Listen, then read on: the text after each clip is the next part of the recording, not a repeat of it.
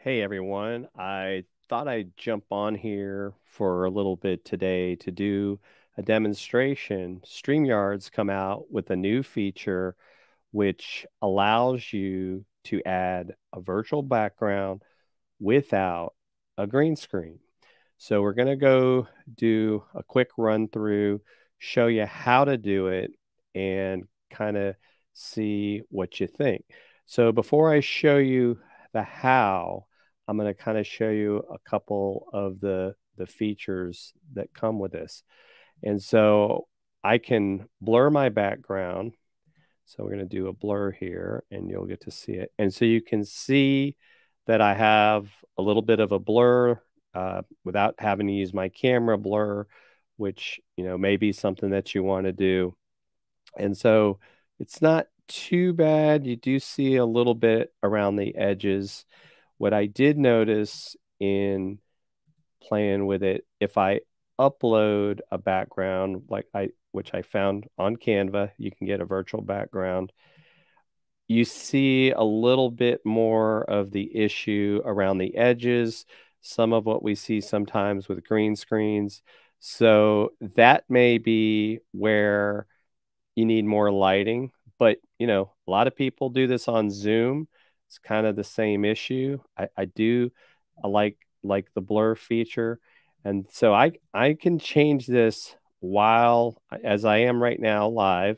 So I'm going to go back to no virtual background and then I'm going to show you how we are able to make make this change.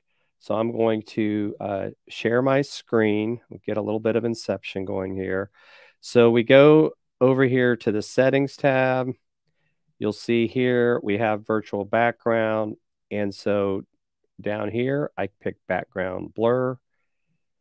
And then you can kind of see it's already starting to blur there. And so you can, if I stop sharing for a second, you'll see I now have the blur on. And so now I'm going to go back to screen sharing again for you go back into the settings, virtual background. And so right here where the plus sign is, is where we can add additional backgrounds.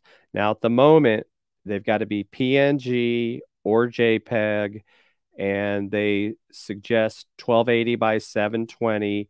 I, I do know that you can add um, video virtual backgrounds on Zoom. And so right here is where you would upload your background. That's how I added this mm-hmm. one. So if I want to switch to this background, I just click it. You can see that it's already coming in. And then if I remove this screen share for a moment, so you can see that's simple to do. And so I will go back out here, back into my virtual background. I'm going to take the background off. And I, you know, pretty much very simple to do things to think about is your lighting. That's probably part of where I have a little bit of issues.